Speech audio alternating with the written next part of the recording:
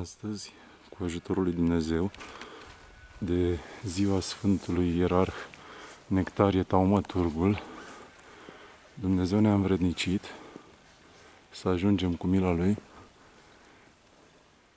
la Sfânta Mănăstire Putna. Un loc de suflet pentru mine.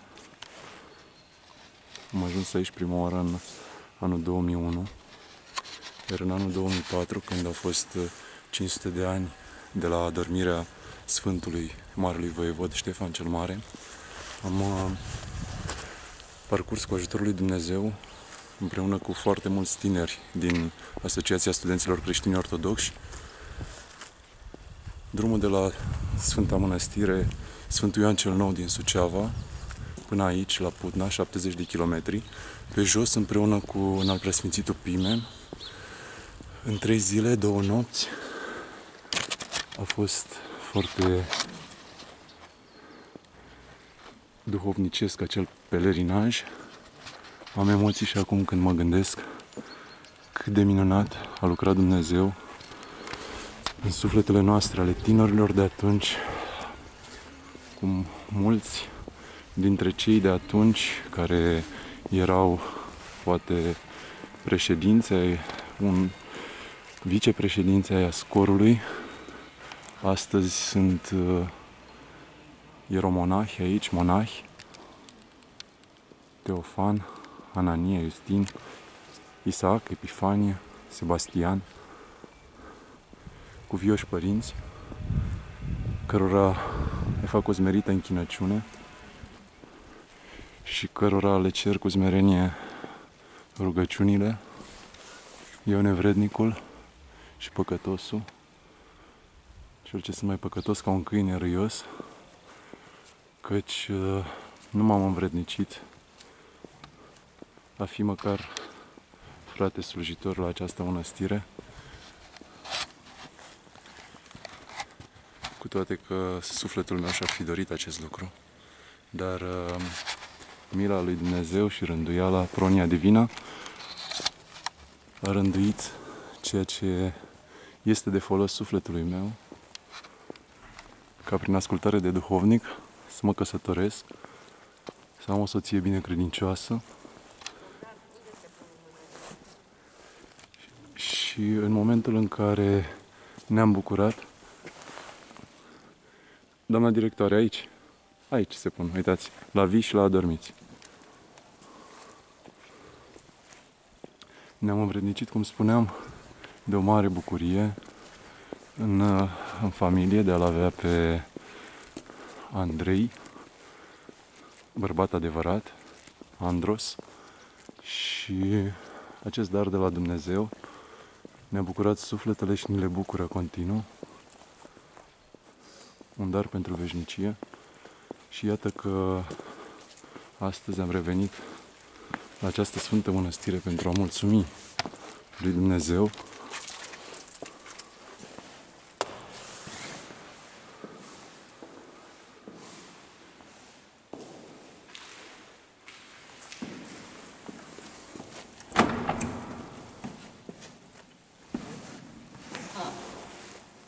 Nu Dragoslovit și iertați-vă.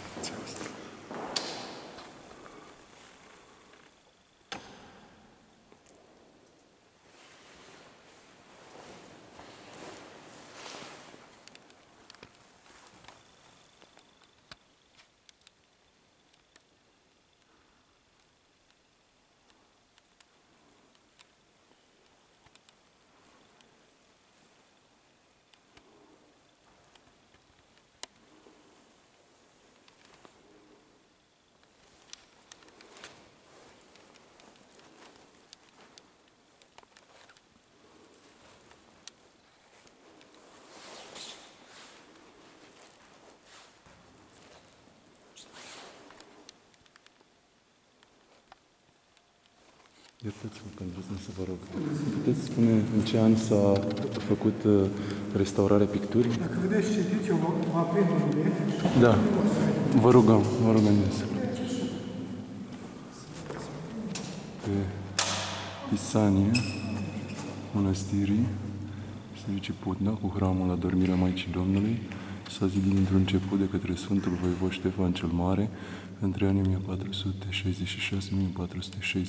1466-1469 și a fost pictat în interior și în exterior mai mult aur decât zugrăveală, după cum spuneam cronicarii. După refacerea ei din temelie, între anii 1653-1662, biserica a rămas nepictată.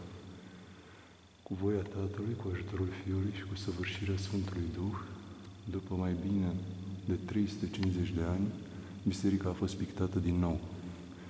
Lucrările au început în anul 2001 cu binecuvântarea prefericitului într-o pomenire teoctist, Patriarhul României, și în al preasfințitului Părinte Pimen, Arhiepiscopul Sucevei și Rădăuților, fiind executate de către frații pictori Mihail și Gavril Moroșan, chiar ieri au fost Sfinții Arhanghel Mihail și Gavril prăzniți, prin purtarea de grijă a preacuviosului arhimandrit Melchisedec Velnic, starețul mănăstirii Putna, ajutat de întreaga obște monahală. Pictura s-a sfințit la praznicul adormirii Maicii Domnului în 15 august 2010 de către prea fericitul Părinte Daniel, Patriarhul României, înconjurat de un sobor de arhierei, preoți și diaconi, în prezența unei mulțimi de credincioși. Binecuvintează, Doamne, pe toți ostenitorii, binefăcătorii și închinătorii acestei mănăstiri, care iubesc frumusețea casei tale. Amin. Mulțumim din suflet, precuiesc.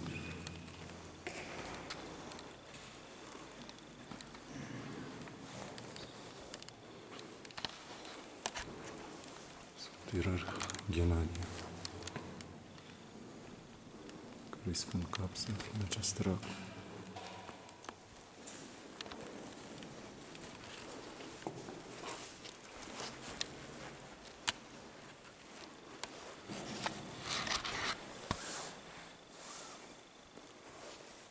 Iertați-mă că îndrăznesc. Se poate aprinde lumina și aici, vă rog din suflet. Mulțumim.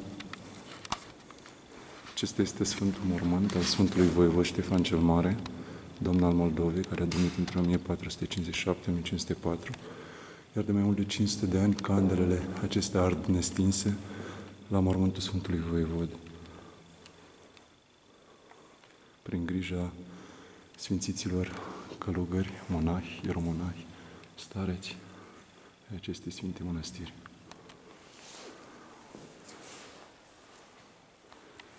Sfinții cuvioși de la Sihăstria Putnei, Natan, Silaș și Paisia, care au moaștere la Sfânta Mănăstire Sihăstria Putnei.